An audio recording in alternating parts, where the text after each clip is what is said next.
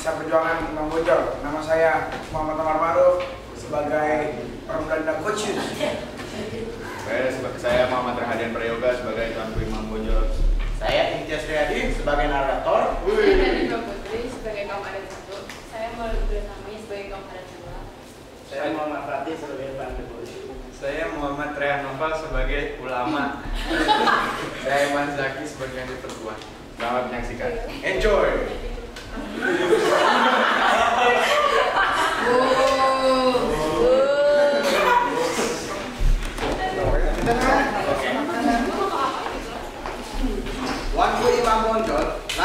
Bonjol.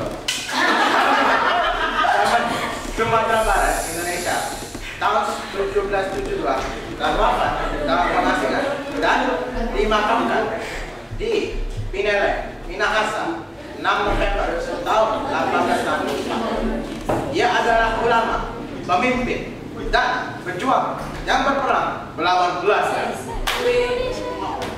Jadi, pada masa hidupnya, timbullah perang Padri didasari keinginan para pemimpin ulama di kerajaan Pagarujung untuk menerapkan dan menjalankan syariat Islam sesuai dengan ahlus sunnah wal jamaah.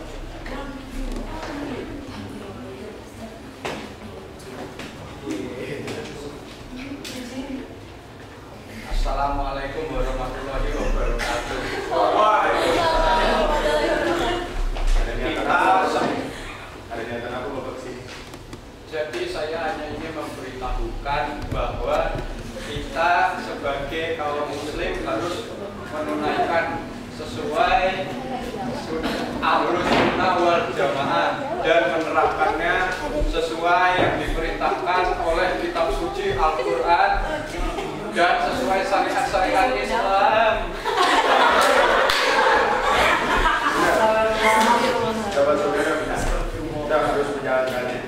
Betul sekali.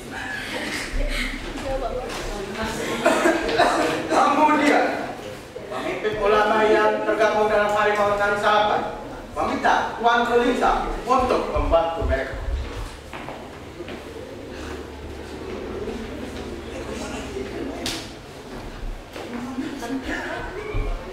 Tuan Kulitau, saya menghimbau Anda uh, untuk menghimbau untuk uh, agar uh, agar kaum adat itu bisa untuk meninggalkan kebiasaan-kebiasaan-kebiasaan yang tidak diajarkan atau tidak sepatutnya pada syariat-syariat Islam. Baik. Dalam beberapa perundingan, tidak ada sepakat antara kaum ulama dengan kaum adat. Sampai akhirnya, kaum ulama di bawah pimpinan Tuanku Pasaman menyerang Pagaruyung pada tahun 1812. Sampai akhirnya yang di Pertuan Pagaruyung mereka diri dari perang. Saya harus kabur dulu yang di Pagaruyung. Ada 21 Februari tahun 1821. Kaum adat secara resmi bekerja sama dengan pemerintah Hindia Belanda bersama kaum ulama atau kaum umat.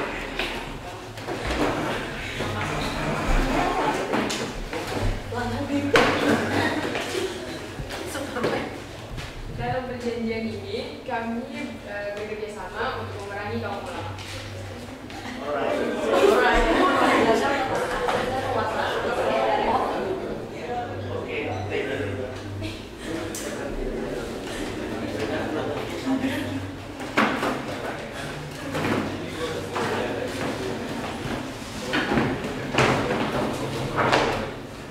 Belanda menyerang kaum Padre, akan tetapi perlawanan kaum Padre cukup kuat. Karena itu, Belanda mencoba pemimpin kaum Padre, yaitu Paskut Imam Bojong untuk berdamai. Sejak awal 1833, perang berubah menjadi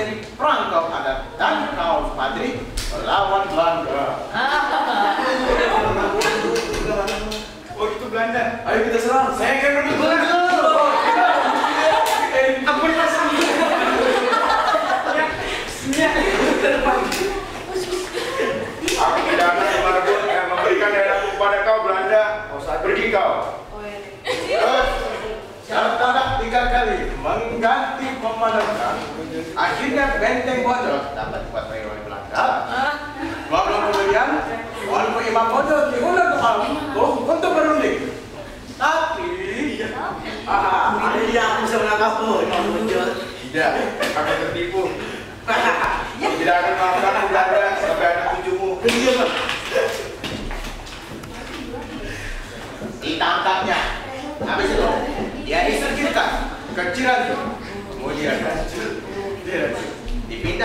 ke Ambon dan akhirnya ke bawah dibawa ke Minahasa dan dia meninggal umur 94 dan dimakam di sana.